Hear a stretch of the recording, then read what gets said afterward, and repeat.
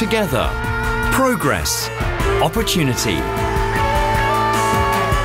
Celebrating the Hong Kong SAR's 20th anniversary.